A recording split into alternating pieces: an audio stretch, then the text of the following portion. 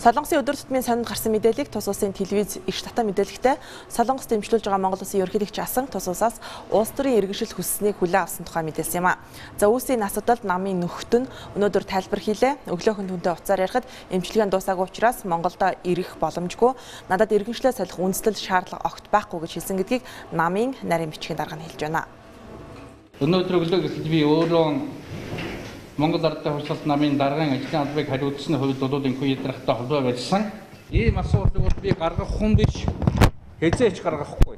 Нэг Монголдо нэг очиж одоо ирэх юмсан. Энэ одоо ямар хэцүү юм. Бүтгэлэг үжирлэг бол одоо ингээл баянг байх юм.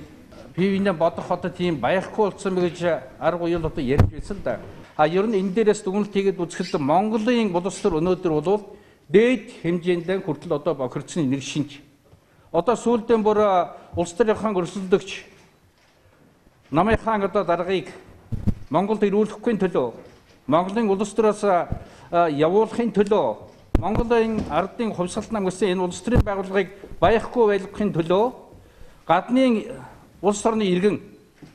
Гадны хэвлэл мэдээллийн байгууллагыг бол одоо гар хөлөөн болгож арга хэмжээ болгож байгаа. Ийм ичгүүргүй сонжуургүй юмруу бол явж ийн гэдэг энэ өөрөө Монголын улс төр бол тун хүнд байдалд тун болохгүй байдалд орсон нэг нотлоо гэж хэлэхээс өөр арга байхгүй.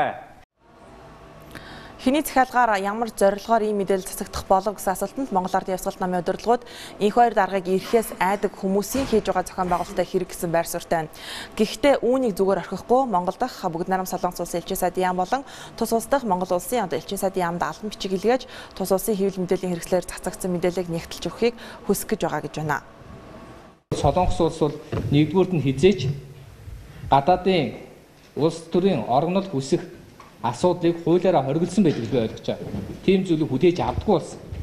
Улс орны одоо чухал асуудал хилцэж байгаа үед зориуд одоо анхаарлыг нь сарниулах гэсэн бусармаг байдлаар одоо юу гэдгийг Монгол Ардын хувьсгалт намын нэр хүнд рүү Монгол Ардын хувьсгалт намын даргын нэр хүнд рүү дайрсан. Энэ бол зориуд бохир мөнгөөр зориуд бохир улс төр хийх зорилгоор одоо юу гэдэг гадны улсын зарим нэгэн бас иргэдийг худлаа мэдээлэлээр хангаж хийсэн болов уу гэж бид үзэж байгаа. Монгол Улсын иргэн иргэншлээ салах хүсэлтийг эхлээд өөрийн орны талд гаргах ёстой. Ерөнхийлөгч Хасан их баяр иргэний харьяалал шилжилт хөдөлгөөний ерөнхий газарт иргэний харьяалал өөрчлөх ямар нэгэн хүсэлт гаргаагүй байна. Мөн бүгд нарам Солонгос улс насан турсан хүн давхар иргэншилтэй байхыг хүлээн зөвшөөрдөггүй улс.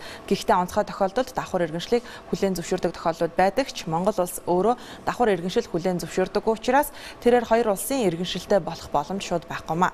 За энэ бүгдээс дүгнвэл Солонгосын хөвлүүдээр гарч байгаа мэдээлэл үндэслэлгүй олж таарч байна харин хэний нисгсэн бор шувуу хил дамна нисч засгийн газрын бүтэц бүрэлдэхүүн яригдж байгаа энэ эзэгтэй цаг үед бусдын анхаарлыг сарниулах гэж оролдов гэсэн асуулт хариултгүй үлдэж байна. Хоёр даргаыг ийм байдалд оруулахыг хүсдэг.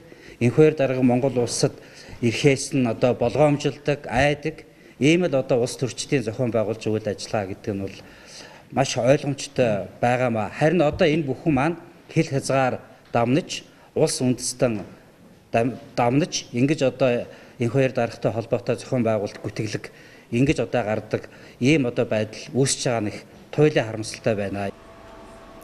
Улс төрд алба харж байх жилүүддээ эрх мэдлээ уруулан улсад их хэмжээний хохирол учруулсан хэл ахуул авсан зэрэг хэрэгээр 2012 онд за шүүхээс түнд 2.6 жилийн хорхол онооч харин 2013 оны 8 дугаар сард ерөнхийлөгчийн зардгаар өршөөгдөж суллагцсан. Биеэ амжилуулахаар бүгд нарам Солонгос улсыг зориод жил гаруй хугацаа өнгөрч байгаа тэрээр ойрын үед эмчилгээний хуваараа харж байгаад төр хугацаагаар их орондоо ирэх байх гэсэн мэдээллийг намын нөхд нөгж байна. За тэр цагт X ерөнхийлөгч тайлбар хийж үүсэн асуудалд төгсгөл олно гэж байна. Монголын бохир улс төр хил дамнан харийн орны хэвлэл мэдээллийн хэрэгслэр захиалах зүйл гаргасан байж болзошгүй энэ асуудлыг их сурвалж олно гэсэн найдлагыг Монгол Ардын Явсгалт намын зүгээс тавьж байгаа юм.